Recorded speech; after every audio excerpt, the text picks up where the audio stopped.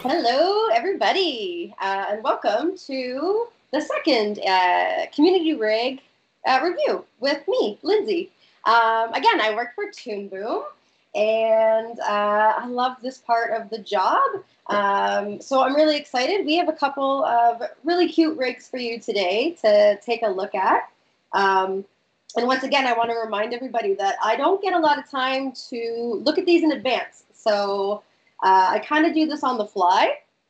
And uh, I really enjoy this part. I really also enjoyed all of the feedback that we got after the first one last month. So please feel free if you have any questions uh, to send them along. I'm going to do my best to kind of uh, coordinate both um, uh, the talking and the and the watching, and make sure that we're catching all your questions. Uh, and yeah, so on today's uh, episode, uh, I have a cute little rig that was uh, submitted by somebody named Katey today. So, Katey, if you're in the chat, please let us know.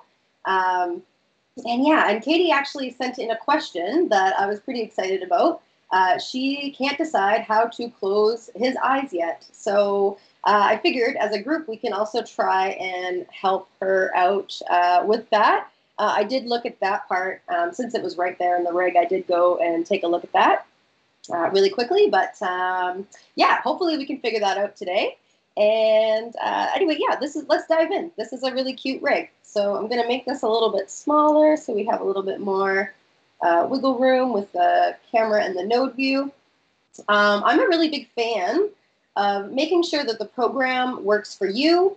Uh, one of my favorite five minute topic is uh, to actually move around your tabs. So I know that since we have a couple people watching that are kind of new to the software and stuff, uh, these tabs here are a fantastic way of kind of getting to know uh, the software and making it fit, uh, you know, your your style and your flow of work, depending on what department you're in. Um, so don't be afraid to kind of get in there and play with these tabs. Uh, you'll notice that my workflow does not necessarily match the uh, the typical workflow of our um, default program. Uh, and that's just because uh, I I gravitate towards the node view. Um, I like to keep my library down here. Uh, I'll hide that for today. We don't really need it uh, today. Um, but then I also keep my color palette uh, tab over here my tool properties. So feel free to get in there as uh, for yourself and kind of really make it your own. Um, so that you can kind of navigate the software even faster and, and uh, learn how to what works best for you. Um, even if you're left-handed versus right-handed, I'm right-handed, so I like to keep my drawing camera view over here, my node view over here, and then all my tools over here. But if you're left-handed, you might want to do the uh, absolute reverse. So keep that stuff in mind. Um, and yeah, so all right. Let's look at this uh, Dinky Deer. It was called. So super cute design. I actually love the ears. Um, and look at this node view. Um, it's super clean, uh, very organized with the backdrops. Uh, it's a very classic shape, um, incredibly aligned. This makes it super easy. I know last week we talked a lot about uh, node organization, but right here you can see exactly why uh, we like that. So uh, I just went ahead and swiped uh, horizontally completely, and then I can deactivate it or reactivate it. Um, so that is that is basically the, the biggest benefit of keeping your node view um, clean. So very nice work. Uh, all right, so let's do a quick um, a spot check is what I like to call it. So from here, what I like to do is double check where pegs are. Um, it's really nice when rigs are set up in this manner because I can actually go ahead and assume things without diving in and reading them completely. It's really nice to also have uh, the, the name of the limb at the top of the, um, uh, I always want to call it a backdrop. Uh, what is this? Is it called a backdrop? Or am I blanking at the name? Insert. Uh, yes, a backdrop. I think I have another name for it. uh, but uh, super handy. So instead of zooming in and taking a look at near arm master, near arm, uh, near leg shoulder master, uh, we can kind of zoom out and we can kind of start to envision uh, what we have here. So without diving in too quickly, I can see that this is the, the near front arm, this is the back arm, this is probably part of the body. Yep. And we've got the same thing with the back legs. So the near back, the far back, and the tail. All right, the butt, the butt end. All right. So let's see, this is by the feet. Um, every once in a while, I find that people like to have a conversation about uh, where to keep the master peg. Um, I'm a big fan of keeping them in the middle of the feet. Uh, that way, when you are scaling something, you know, it's always kind of grounded. You can always envision that it's standing on something uh, and it's going to keep it there instead of having it in the middle. And then when you're scaling, kind of moves the ground plane uh, with it. So that is a big, uh, I'm a big fan of that. Let's see, and then we've got uh, this peg here. So this is actually something that I've noticed uh, two different ways, because this is a quadruped rig. Uh, so we have uh, this peg here. I actually like to uh, rig quadrupeds like this. I kind of consider them still to be a little bit of a biped product. Um, and by that, uh, this is this is the peg that I kind of mean. We have the peg that joins the front arms uh, with the neck and the head, uh, and it allows the character to kind of bend upwards like it was walking on its two back legs. Uh, the reason why I like to rig a quadruped like that is actually because it resembles a human uh, quite a bit. So you kind of have an upper body peg, you have your uh, your body and arms peg, and then you also have your neck and head peg. Uh, so that's actually, uh, I find, a little bit easier on animators because you can change this up. You can do a very different way. Uh, you can actually connect it so that the head is connected to the body. I don't know if I actually want to, do I actually want to break this right now? Uh, we could do something like this and this. And then we could also take this tail end and almost connect. And I grab it. Can't grab it without getting rid of that. There we go. Uh, so we can do something like this as well. This is something that I've kind of seen where you have the body connected. We can even go as far as doing something like this.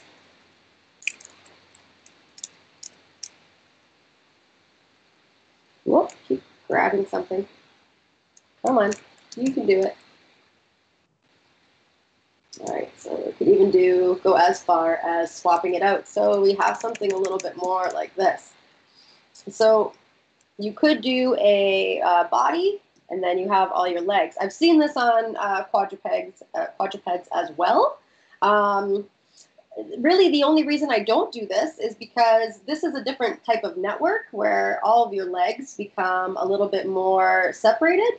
Uh, in some ways, it gives you a little bit more freedom to work with the legs, but I find that the networks don't uh, resemble a humanoid network uh, for animators. So that's why I prefer the other way. Uh, I don't know if anybody has a preference in the chat. Feel free to share that with us. Um, but yeah, so I actually I actually rigged quad quadruped characters the same way that you did Katey. So let me undo, uh, get back to the way that it was. There we go. All right, excellent. Okay, and so I'll just kind of quickly keep grabbing here. There is a little bit of a thing in these legs that I'm going to talk about. Um, but I would say that in this rig, it's not necessarily uh, a big a big deal. Um, and I'll show you what I mean when we get a little bit closer. So right now I'm just checking up all these peg pivots and making sure that they're all set.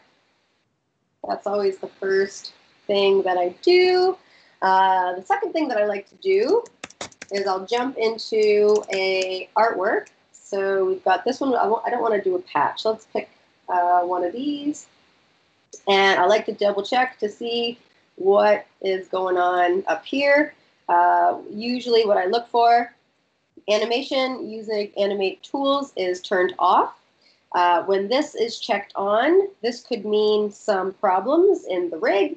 Uh, as you can see, when I turn that on, this piece turns red. Uh, the peg pivot also changes. Uh, that there's a little bit of a there's a little bit of a backstory there. Um, if you go to transformation, this is already set to do not use embedded pivot, uh, and that is talking about the drawing pivots uh, on the, or the pivots on the drawing layer or the parent peg here. Uh, since we're not using them, which is a preferred method for cutout animation, you definitely want to stick to do not use embedded pivots uh, and controls. Uh, the reason why is because uh, now that I have this selected and this pivot is here, uh, the program now has two pivots to kind of worry about. So this can actually lead to some complications uh, in the rig and in the animation. So for example, if I find this piece in the uh, in here, if I move it, uh, you'll notice that I now have a keyframe on my drawing. Uh, that's something that we always want to avoid. So uh, just to show you why we do that, but it wasn't there to begin with, so that's excellent. Um, so turn that off. Uh, I just like to spot check just to make sure that all of the pieces kind of work like that. So I just double check a couple other ones. I'll go into maybe check the nose just randomly. Awesome. Yeah, it looks like they're all set to be off. Uh, usually those kinds of little things show up pretty quickly. So it's really easy to um, uh, to go in and, and, and double check. Uh, if I ever find one, I will show you guys uh, how to resolve those issues. But until then, uh, trust me, that is something that you don't want to accidentally miss. Um, all right, what else can we look for? Okay, let's double check for uh, any anti-aliasing. So we'll just do a quick high-res render. I don't see any any cracks anywhere. This is looking pretty good. Okay, turn that off. Uh, if I wanted to have a color card, it would also show me the outline of the character, but I think that looks pretty good, so I don't have to worry about that. Um, okay, and let's do a quick do a quick naming. I think this is a very organized rig, so it looks like everything's named pretty uh, efficiently. There's no like double P's um, something like this. I always try to avoid anything like that. It, it helps when you're um, labeling things. We used to have to write out notes uh, when we were giving out notes for our riggers to kind of go back in and look for. Uh, it makes it very difficult to find something when something is labeled uh, uh dash P, dash P, dash P, uh, when you just have a trail of, of pegs. So that's Nice to see. Nice job, Katey. Um, let's just really quickly scroll. I don't know if you guys can see the naming of all of the of the pegs. Um, I'm just kind of going through this pretty quickly. All right, so it looks pretty good. Um, all right, so let's think about those eyes. If anybody has uh, some suggestions for the eyes, right now what they are are they're uh, they're just drawings. They're just little drawings. And I'm gonna go and uh, we've got our line art separated on the line art. We have our color on the color fill. Uh, probably nothing in the underlay and overlay, doesn't look like it. And we also have our highlights, which is probably done in the same way. So overlay, oh, actually these ones are in the overlay. Uh, um, could probably keep that in the line art, but uh, since it's just the one drawing, uh, not, not a big deal. Uh, just for consistency, uh, you can do that. Uh, but if anybody has some suggestions, uh, we can talk about this afterwards. What I want to talk about is actually the setup of the legs. Now, this rig already has animation on it as well, and the animation is really good. So let me set up a quick little loop so you can see what we have here. So we'll set up our start and stop. Oh, actually, I meant to do that uh, here. Let it runs on on the spot.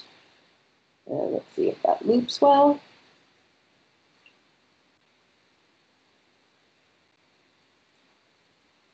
All right, perfect. Yeah, so it looks really cute, actually. Um, so I don't want to make any like uh, serious suggestions. This is just something that um, I tend to avoid when I'm rigging. But I think in this case, because these limbs are very uh, narrow and delicate, I actually, it doesn't, um, I don't think it interferes with the quality of work and I don't think it changes uh, too much of the design. So in this case, it does, it does work out well. But I just want to point this out here. So this is where, uh, this is something that I typically call uh, daisy chaining. So that is just when a peg controls the other peg. Actually, in my line, because there is, this is a near arm shoulder master. Oh, I take it back. There are no daisy chaining here. Uh, daisy chaining would look more like this. Sorry, this is just a practical effect that my eye was playing. So let's go here. Let's change it so that it is daisy chaining real quick. This is what I call daisy chaining. So this is this is a great actually this is a great rig. This is almost uh, there's almost nothing that I can find in here yet. Um, so uh, this is what I call daisy chaining, which is what I would try to avoid, and I call it daisy chaining uh, because it tends to just be uh, when you need a 50 foot extension cord uh, and you only have five 10 foot extension cords. It's like you go from one extension cord to the next. Uh, so that would be why I call it a daisy chain. Uh, and what this does is it limits your animation a little bit. So in this case, when you move here, uh, it controls all of the pegs underneath.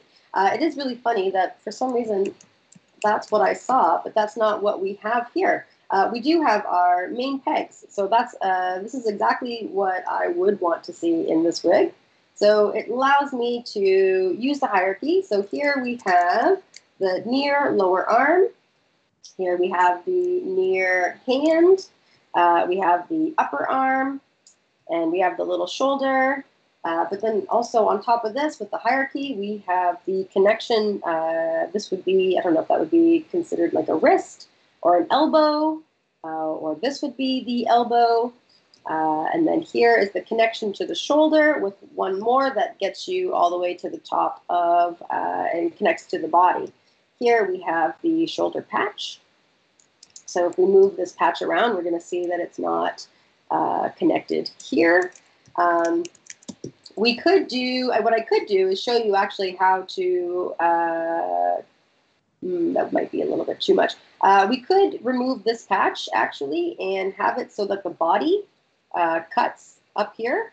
Uh, so anytime the arm comes off the body like this, you can see the outline, but if the body uh, or the arm is connected to the body, uh, we could, uh, it would always have that like nice little shoulder, um, I don't want to call it a break in the artwork, but uh, it would be a very purposeful way of creating that connection to the body. So let's see, we've got a couple colors here, or not color, questions here. Okay, so this is a rig for students, which is really awesome. I actually think this rig is going to be a lot of fun to animate. Um, I don't think the patches are actually a problem. It's just a, it's just a suggestion if you wanted to uh, to do that. Um, you could set up a system. I think for students, this would be a really good way to kind of keep it. Um, so maybe let's not talk about patches today. We'll leave that for another another session. Um, the one thing that this rig I can see that it doesn't have uh, is, and let's do from here, actually let's do this one.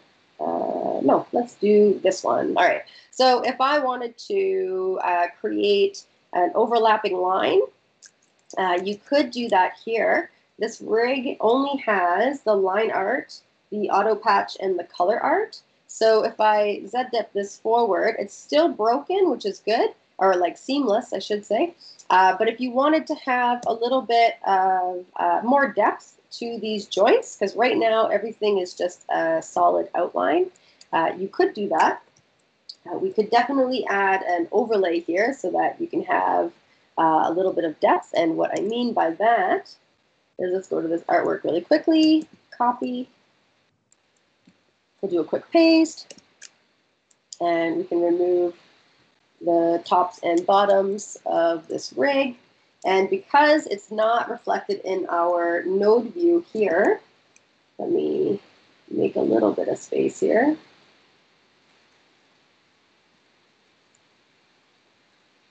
Uh, we're not going to see that change because that is in the overlay of my artwork. You can see here.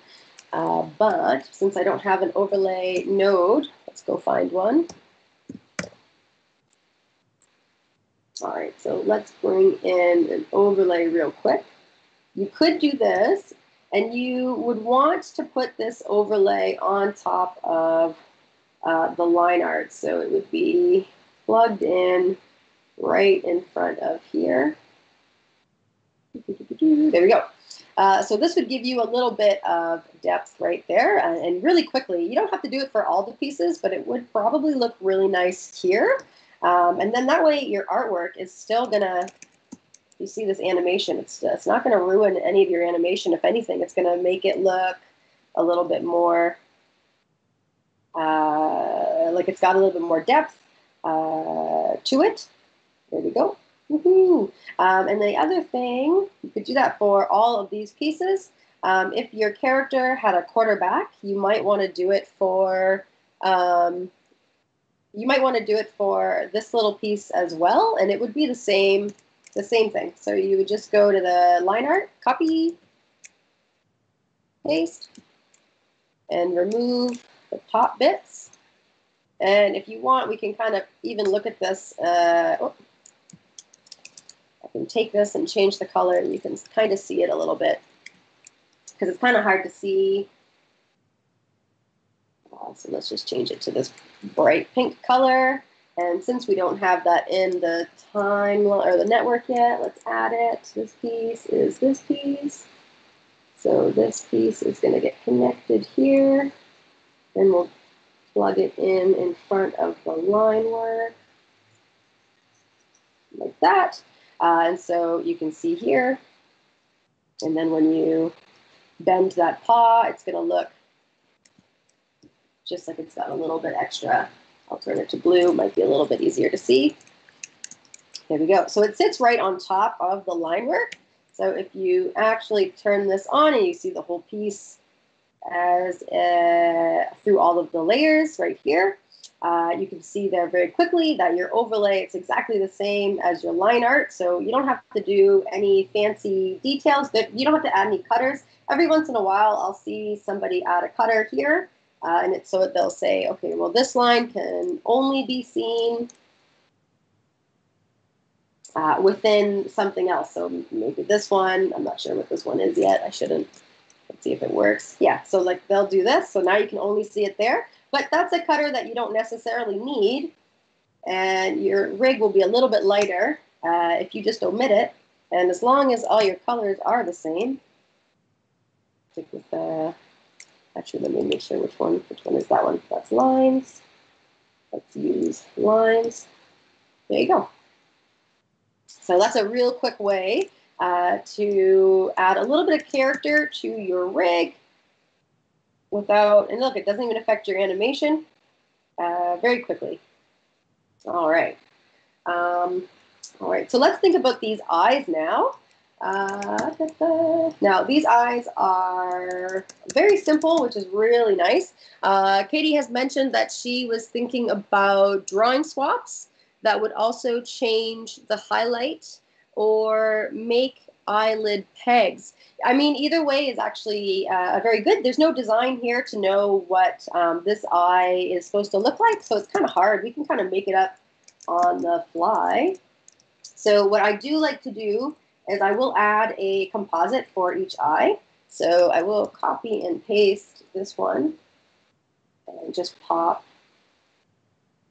this one into it. And so now activate, deactivate. This is the near eye. And that way it gives us a little bit of a, an idea of which which eye we're working with and um, also isolates the eye so we don't get any of our wires uh, connect or disconnected.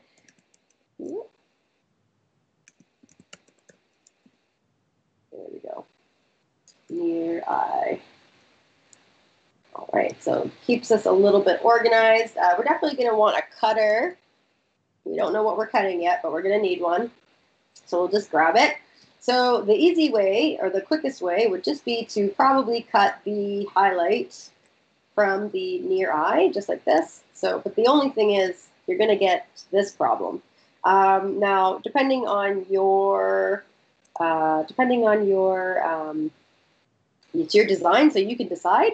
Uh, if you're happy with that, I kind of like that the highlight is bigger than the pupil. Um, so we're going to try something a little bit differently.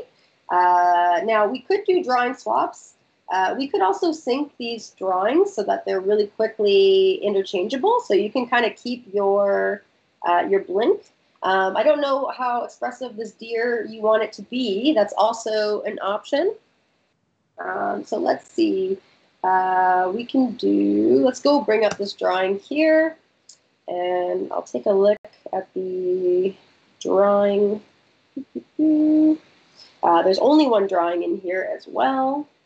So let's see, let's put a blink cycle. Let's make a blink cycle here. We'll start it. We've got some mouths.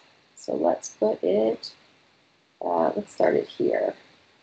So I will create a new drawing, uh, something like this. And so open, let's double check. I think the line and the color art, yes. Yeah, so let's put the line, let's, we have the line and the color art here. All right, so to turn this back on, we can just use our eraser and really quickly go in and, uh, where's my eraser? Here it is. We can go in and just kind of create uh, a little a little thing like this. Um, so we have a open, shut, create a new drawing, and go back into here and grab the eraser. Do a little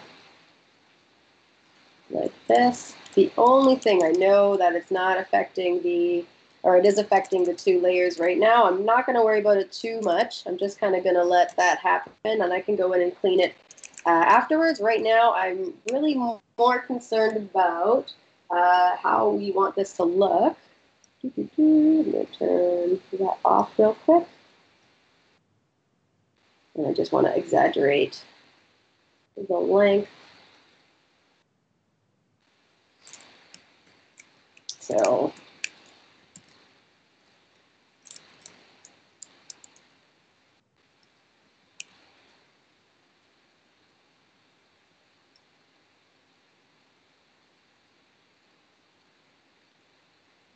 clean that up after.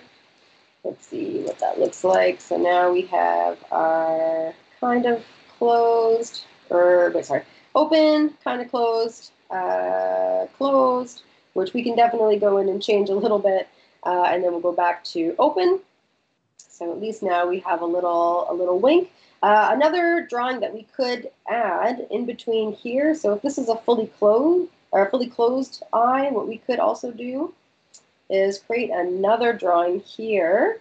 And I'm going to go and just duplicate this really quickly.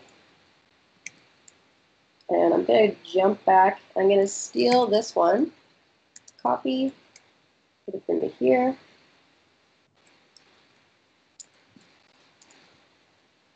And I'm going to do this one a little bit differently. Just going to do a little All right, so now we've got our, it's closing, it's closed, now it's opening, and then it's open. Uh, so I'm going to remove my start and stop, and I'm just going to focus on this blink right here so I can kind of play this And I will hook this up just for a quick second, just so that that highlight doesn't distract, uh, distract us. The other option that we can do actually is um, we can unplug the highlight and just let the, the eyeball do the work, but uh, we'll leave it in for now. And we'll do a quick little play. All right, so it happens quickly. Let me jump back into here. I'm going to extend the close portion just a little bit more. I'm going to put that one on twos. So let's just do this. So now we've got a, a closed drawing, a hold on the closed drawing completely, and then we've got an opening drawing, and then we've got an open. So let's try that one more time, and we'll hit play. All right, so now we have this, but what we don't have is that really cute little bubble of the actual highlight. Uh, I do like this bubble, so I do want to try to keep and preserve that. So let's see um, if we do this, what we can do to kind of preserve that bubble. So the one thing that I'm thinking about is actually changing these drawings a little bit so that they, one, they look a little bit cleaner. Uh, and I'm also going to show you how I would clean that up. Doo, doo, doo. And I want to keep these two drawings that are kind of the in-between the open and closed. Uh, I'm going to try to kind of, I'm going to make them a little bit bigger, especially this one, uh, so that we can kind of include that highlight at all times because I think that this is kind of uh, a really cute aspect of the design that I definitely don't want to uh, dismiss. So what I'm going to do is I'm actually going to steal the artwork from here. Now, uh, I'll turn that off. Now, this line here has got a line thickness of 10. And as you can see, when I get into this drawing here, it looks a little, it looks a little funny. Uh, I was fighting that right there. So I'm actually going to clean this up. This is a really nice, um, what we've got here is a really nice base, but let's actually go in and clean that up a little bit. So what I'm going to do is I'm going to take the artwork for the, uh, the color art, and I'm going to do a quick little trick. So right now, because it's just a the artwork, I'm just going to steal the strokes pencil lines, and I'm going to cut it. Whoops, didn't mean to cut everything going to cut this. Uh, because this is the same, I guess I could have done this too, but I'm going to paste that back, and I'm just going to change this down to 1. And what that does is it gives us a really thin uh, drawing here. Now, uh, the, the, other thing is um, this will make our drawing a little bit smaller, so I can actually, by holding, let me just make sure I got these buttons right, yeah, so shift and option, I can actually hold it and make it a little bit bigger. So I'm to do that. I'm to turn this on real quick just to make sure.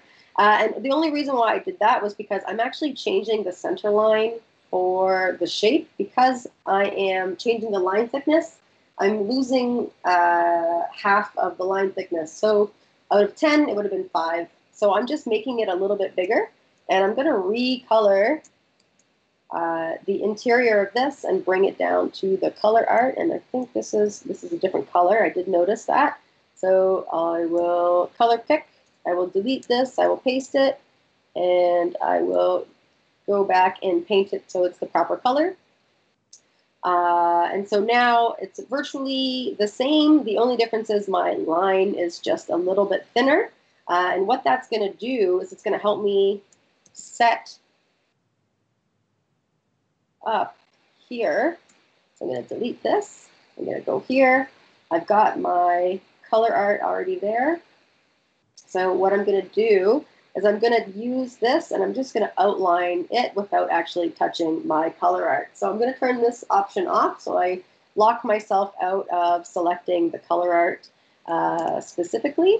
And I'm just going to go and create a couple little points here. Whoop, that wasn't what I was supposed to do. And what I'm going to do is I'm going to go and grab here. And I'm just going to do a little, what I'm trying to do is I'm trying not to touch uh, this side of the, of the line because that is kind of where uh, the design, you want that to kind of stick. So I'm using option to break the handles and I'm trying to trying to decide if I want how how much of a dip here I want to, to have.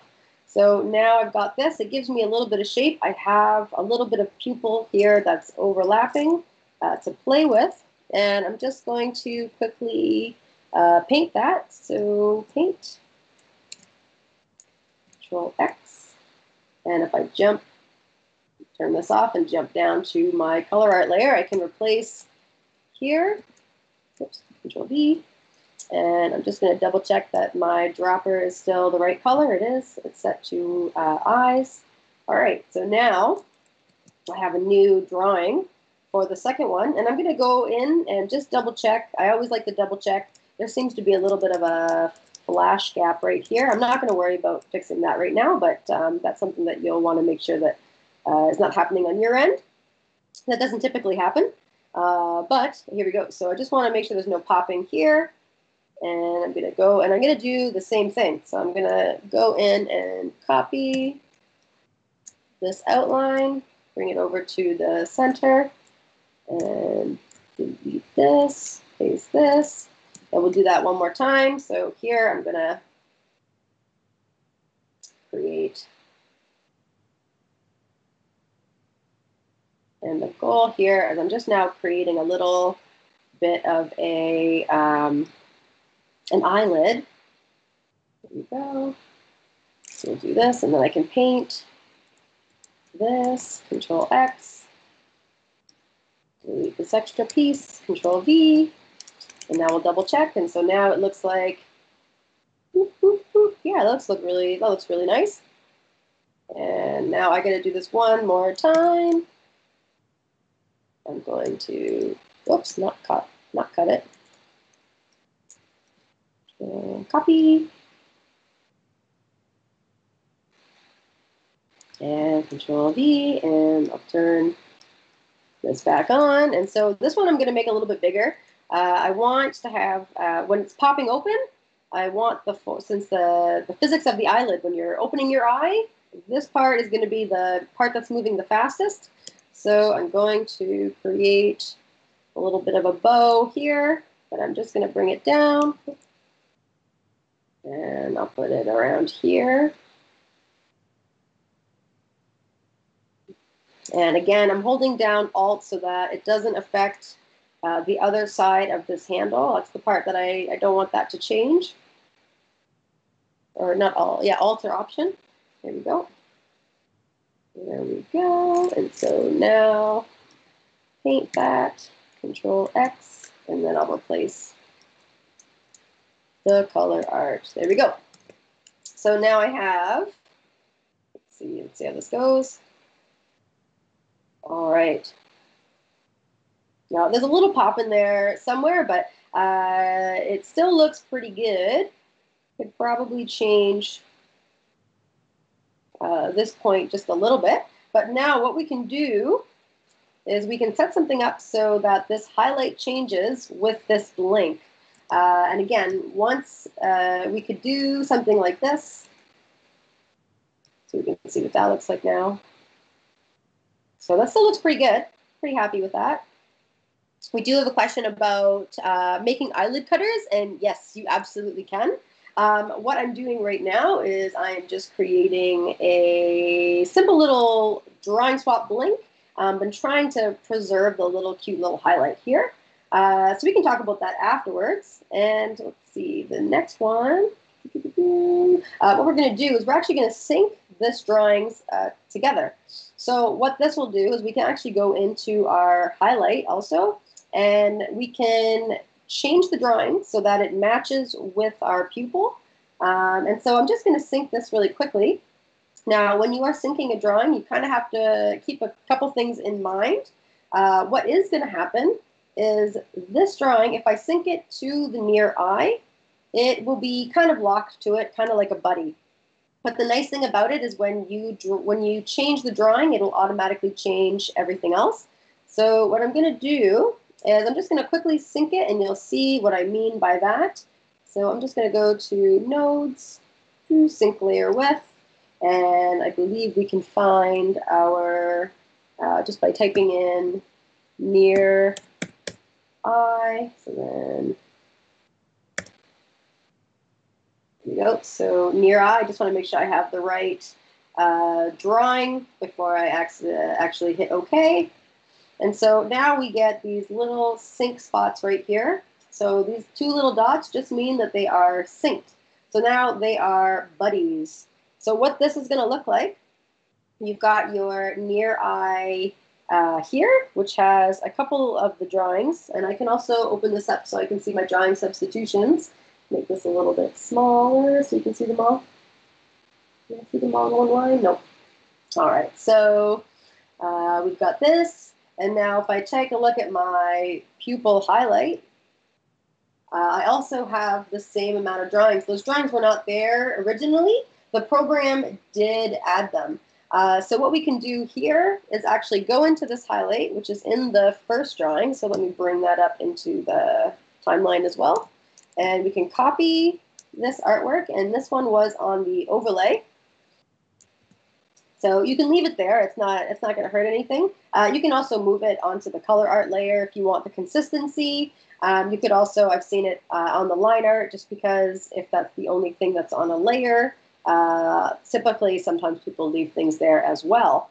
So what we're going to do on the first drawing where the drawing's open, we don't, we don't have to do anything. So we're just going to copy and we'll go to our next drawing and we can put this here. Now this is a, a different drawing. You can see that the drawing underneath is, and if I put it behind it, we'll see it a little bit better uh, something like this. But what I'm going to do is I'm going to go and I can turn, think it's this one. Yeah, turn drawing, current drawing on top. We can take our eraser and we can actually go in and kind of, that eraser is big. Uh, we can kind of go in and just kind of change the shape of our highlight. Whoop. You can always go in and make an adjustment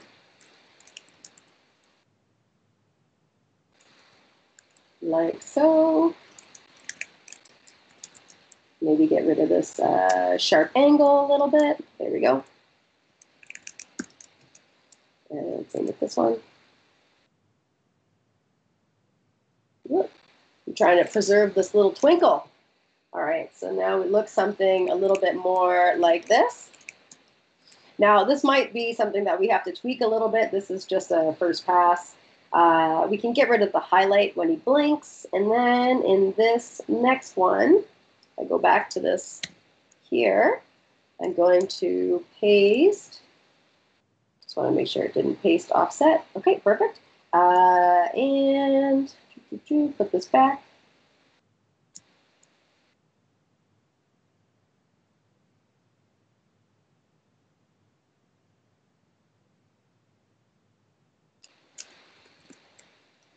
Okay, and then here we go.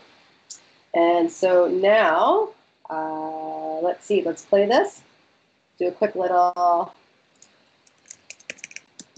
Now, uh, we can play with this a little bit, but what that does is it allows you to have a little bit of a hand-drawn feel. Um, and I just really like that twinkle in the eye quite a bit. I like that it overlaps. So that's kind of why I went with that. Um, that way. A lot of times when you see flat black pupils too, uh, drawing swaps are really easy because you can kind of go in and make those drawings as, just as quickly as I showed you. Um, if you wanted to do the other way, uh, which would be having a cutter on top of the eyes. so let me just move remove all of this. Gonna make a little bit more space. You know what? I'll just I'll just make a lot of space. Bring it over here. Now I didn't even end up needing this cutter, so I'm gonna delete it, or I'll just pull it to the side. Um, they, again, these eyes are really cute. Um, you can also, uh, let's see, let me just steal let me just steal uh, this drawing.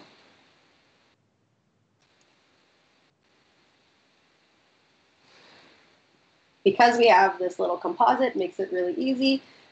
I always try to add my naming before I change anything. So let's call it a near eyelid, and then I'll add the peg. before you change any of the drawings, I typically do connect things to the uh, to the actual hierarchy, just in case there's some movement around. Uh, let's say the character was resized and repositioned somewhere over here. It's very common that if you don't pay attention to something like that, I'm gonna grab this. There we go. Can I grab it?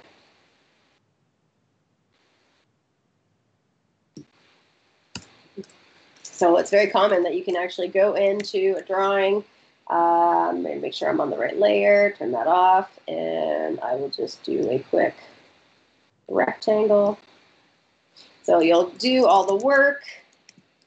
You'll set these line thicknesses. Let's do let's do uh, let's do 10, and let's color it with the color pick. Where is it? The color name. See? So we can go through all this work. We can set our pivot.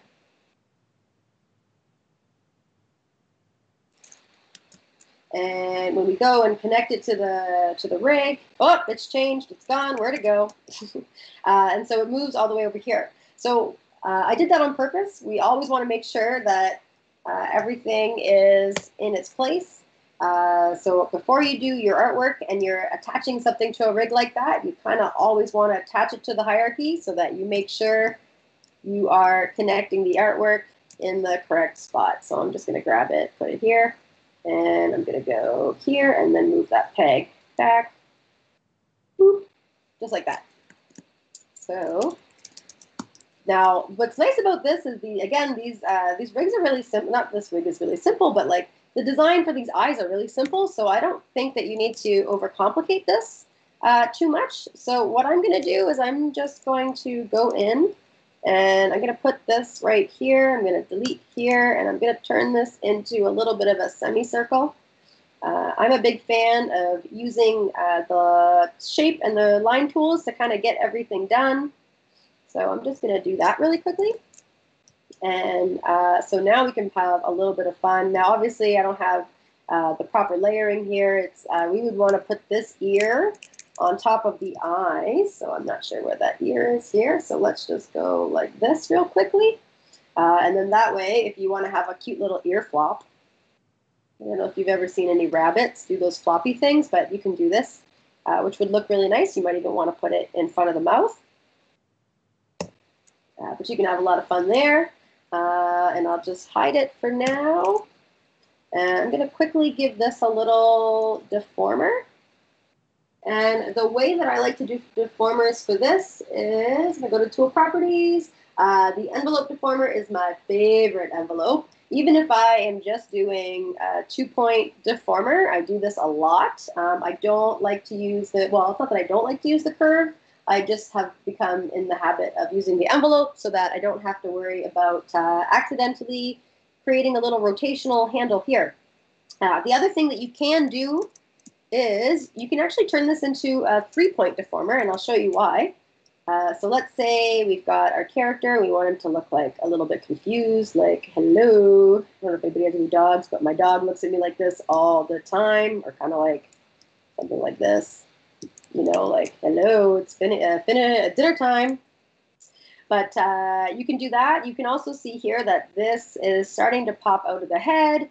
Uh, every once in a while, you have to make it really extreme, like real angry. Uh, and so, what sometimes can happen is uh, this actually doing a pretty good job of uh, hiding everything, but it's also running on top of this eye. If we go even more extreme, uh, it actually pops our eye out a little bit more. And what I'm going to do is I'm going to remove all of the information here, go back to my rigging tool, and I'm just going to show you what I like to do. So I actually will continue this envelope deformer and make sure that it aligns really nicely.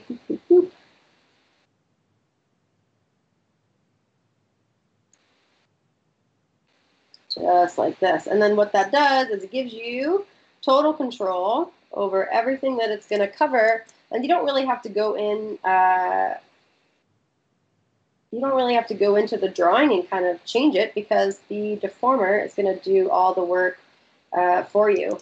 Now, we are having some breakage here. I'm pushing it pretty far. Let's see if it actually shows up in our in our render view, and it doesn't. So that actually looks pretty good. So you can have a little bit of fun uh, there and create uh, a blink this way as well if you wanted to. Uh, and do the same thing for the bottom. So you can have a combination and just turn that drawing off and on when you needed it. So yeah, we have a couple questions. I want to get caught up here. Um, if there's any other questions about this rig, uh, feel free to send them in the chat now. Uh, I think we're gonna, uh, actually, uh, since it's almost five, maybe we'll just continue to talk about this one. Um, so if there's any other questions, feel free to ask. And I'll just remove all the information. All right, so someone is asking me, where did I learn to rig? Um, he's currently a third year student studying animation and want to specialize in 2D rigging. That's awesome. First of all, I like to think that uh, cartoon engineering is the best, but I am super biased. Uh, and I learned it on the job, actually. I got hired as an animator. Uh, and um, well, let's just say my timing is not the best, but I was able to pick up rigging and I just fell in love with the craft.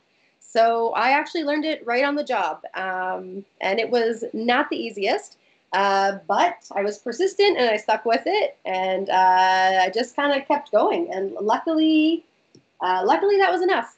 so I hope that you are able to figure it out before you get to the job because that would be uh, a lot easier, um, a little, probably a little less stress, a little less stressful. Uh, but uh, probably the best decision of my life that I had no control over. So I'm very grateful for uh, my rigging uh, talent and my skills. Definitely something that I fell in love with. All right. Okay, so no other questions on the rig. All right, so let's see. Let's turn this off. Oh, here's actually a good one. Um, since I just had this, so uh, I use a shortcut to show and hide my deformers. It's not something that is, um, uh, it's not in the software by default, but you can set it up. So if you go to deformation, show current deformers, uh, I use M. M is a very uh, good shortcut to set up. It's one key that we don't use typically in our software at all. So it's uh, usually free by default. Um, and so show current deformers is the one that I use, but it just allows me to go to anything and I can turn my, my deformers on and off. Of course, now it won't turn on and off. Uh, but uh, that is uh, one of my favorite shortcuts. Uh, makes it really easy, so I don't have to keep jumping up to here. Uh, and you can also see that I've turned the drawing off. The, the eyelid is not there it's turned off, but uh, you can still see my deformer. Um, this is something that actually animators, I've heard that they don't like this. These deformers do get in the way. I mean, if you're, you don't need to animate that drawing, it's not there. Uh, so you can actually turn that off if you want to. And just by selecting, uh, you select the deformer, and if you just click on, where's that button? Oh, maybe I have to turn the drawing back on. That's probably, there you go. No, I'm lying to you. Uh, you can go to this one here. Uh, I have a drawing there because I stole that drawing. Probably should have thought about that first. But on my drawing where it's turned off, uh, what you can do is actually create a new deformer chain. And right now, if we jump into this deformer, you're going to have these offsets and the curve. And that just means that the deformer is a global deformer. It's going to be applied to anything that's there, even if the drawing is turned off. So if I want to change that up, uh, it's really easy to just go and grab the drawing and then click on the add new deformer chain, create new deformer chain. There we go. Uh, it disappears, and if we jump back into that, we have a new transformation switch node, and we have our original deformer, which is still here, so it's still organized, uh, and a new chain right here. This is called the deformer chain. It is empty. I don't have to add a deformer on there. But if I did, it would have another uh, group right here with uh, labeled two So I'm not gonna I'm not gonna create a new deformer right now, but that just lets me turn that deformer off so that when I'm in, uh, when I have this drawing on, let's go back to this one here. So now my drawing is turned on. Uh, I can turn it off and my deformer will disappear as well. So that is something that I do notice a lot in a lot of uh, rigs. So if you want to clean up your, uh, your rig a little bit more for deformers, that is something that you can do. All right, so we got a couple minutes here. We have another question about rigging quadrupeds in general. What pose would you start from to build a turnaround? Because recently I had to rig a T-Rex robot, which sounds like a lot of fun, uh, which technically is not a quadruped, but if you know what I mean. Uh, and eventually I decided to start from the profile view as too many parts were visible from the front, as too many parts were, weren't visible from the front, like the tail, the spikes, not even the eyes. But I was very unsure about my decision as I had never done it before. That's actually, uh, uh, that does sound like a very complicated uh, T Rex robot, um, especially if you can't see all those things. When you are rigging a complicated character like that, uh, and you do have to do a full rotation, um, I actually still would recommend that you start from the front view. Uh, and then when you're rigging it, it's going to be tough. I don't have something that that's uh, that's something like that right now. But um, hmm, let me see. I think that I still have to use this rig. Uh, all right, so if you are imagining your character, what you want to do is you want to imagine all the pieces that you can't see. And when you are going and creating uh, all those drawings uh, for all of those pieces, um, you still want to imagine them there and kind of where you would put them, even though you can't see them in the rig. Uh, it's best to still start from the front and kind of rig what you can see, leave the space for the things that you can't see. And when you get to the view that you you need your objects in, so the tail and the eyes, um, what were the other thing, the, the spikes, um, then what you want to do is uh, that's when you introduce your new drawings. Uh, the one thing that you will have to do, and this is not in this rig, and this is not something that I've uh, talked about yet, so this is kind of a new concept, but one thing that I do like to do for people um, when I'm rigging uh, is I will add, let me find a, so the nose, perfect example here. Um, when I go and create my drawings for a character, uh, before I start to draw anything, what I actually do is I will create uh, a new drawing. So I'll just call this, um, I'll just call this blank because what I'm going to do is I'm going to create a blank drawing. Now I got to go find that blank drawing. E-L-A-N-K. Where are you? Did I hit close? Command R, blank. Add and close. There it is. I must have hit close. Okay, so I'll add this drawing here just to the network real quick. I'll bring it off to the side. Uh, but what I will tend to do is, let me do this, let me zoom in on a part of the network so we're not looking at the deer. All right, so I will, there's a blank drawing here. There's nothing on this drawing. Bring it up in the timeline. So here it is down here. I have no drawing. Uh, here is my, my drawing. So I'll just turn that on. All right, so now I've got my first drawing here, but uh, that typically wouldn't be there. But what I do also do is I add a second drawing, and I didn't mean to do a duplicate. Let's see, let's add a blank drawing. So a blank drawing here. Uh, and now what I do is I go in and I rename it. And you have an option. You can go with off, uh, my personal preference, uh, and this just is a, a, this is probably like a seven year habit, uh, is calling it a ZZ drawing. So almost like it's asleep and hit OK. Now, what the ZZ drawing does is it's just a blank drawing and I will have this drawing here. Um, when I'm the first stage of building, uh, I don't actually put any artwork on it. Uh, I leave it blank, but I have it labeled as 1 NZZ. The reason why I do that is when I get to my front view and I have all those mystery pieces like the tail and the spikes uh, and uh, the eyes, uh, what I do is when I get to them in the network, I set them to blank.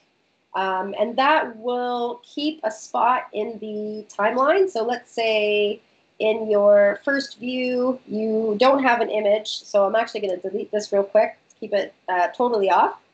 And on your quarter front view, you don't have an image. And then on your profile view, which would be the third, uh, the third one there, all of a sudden you have a drawing. So what this means is that these two first drawings are blank holes uh, and so what I actually typically do is instead of leaving them to be holes in the network or holes in the timeline, uh, I turn these drawings so that they're to the ZZ. So here, and I will uh, extend it. And so now I don't have any gaps in the timeline. Uh, and then when I go, I can start drawing on the first drawing Got my stabilizer uh, set to maximum here, which is why I'm, I'm a little bit slow drawing that heart. But uh, there we go. So the drawings are set to off, and then when I'm ready to get in there and use them, uh, they are there. So that's what I would do. Um, but I know that when I was first starting out, that was not what I like to do. I would have probably done the exact same thing. Uh, I've just built the profile view and then worked backwards. Um, but it's still a little bit easier because when you're starting from your front view, you can really get into the um, symmetric symmetricalness of the rig and the design. Uh, you can build one side and then you can use the artwork and kind of flip it. Uh, but that gets into a little bit more advanced stuff. So maybe another day we can cover that. Um, but let's see. Uh, there was another thing that I wanted to mention about this. Uh, yes, the Z and the off. The reason why I label it Z and off. So I'm going to actually create uh, another blank drawing. So I'll do this, and I'm going to label this one, I'm going to call this one off so that you can see the difference. Um, so here we have our first drawing is set to ZZ. Our second drawing is set to off and our third drawing is set to one. So that's where our image is. Now, uh, right now I have two blank drawings. You don't need to have two blank drawings, but if you notice, off is set to uh, this middle one here, uh, which I guess if I create a second drawing here, uh, it looks like this has been changed. Usually, sometimes this off is actually positioned on the left side of our um, drawing substitution library right here. When you flick through the drawings, they used to be to the left, but it's looking like it's on the right side now. Uh, the reason why I used the ZZ was just because, oh, no, now, now I know what it is alphabetically, sorry. The numbers are always on the left side of this uh, drawing substitution library. So you'll always get one, two, three, four, five uh, over here on the left side. And then when you flip over, you have off that's on the left side or the right side for now. But uh, because I also have a Z, the Z kind of trumps it. So depending on your labeling, sometimes your off drawing gets buried in between some of the other poses or like drawings that are labeled. Uh, and so I use the ZZ because it's always as far to the to the right side as possible. So it doesn't matter what I label things as uh, in here, I can always turn my drawing off uh, all the way to the right. Um, so that was the last thing I wanted to talk about for the blank drawings. And with the intention of the drawing substitutions, uh, it doesn't really make a difference because you just turn this on and you can just kind of decide which drawing you want to show uh, at random. So there you go. That is uh, that is the last question for the blank drawings. And there's one more question. Let's see if we can answer it real quick. Might not be related to this rig, but are there more uses to the transformation switch other than the automatic created deformation chain? Ah, that is a big question. Um, you know what? I don't think we're going to have time to cover that today. Uh, so I'm going to wrap it up. But uh, if you want to come back next week uh, or next month, um, we can try that again. Uh, but yeah, you guys, uh, thank you for tuning in uh, and watching the rig. Katey, uh, beautiful job on this guy. This is a, I think this is going to be a really fun rig for people to play with, um, especially if uh, you're talking about students here. So I will send this rig back to you so you can have um, my example of the eyelid and the the blinks. Uh, and let's see, where did it go? Where did the little dinky deer go? Oh, I have to move my camera. So, thanks for tuning in, you guys. And until next time, and everyone have a safe and happy holiday.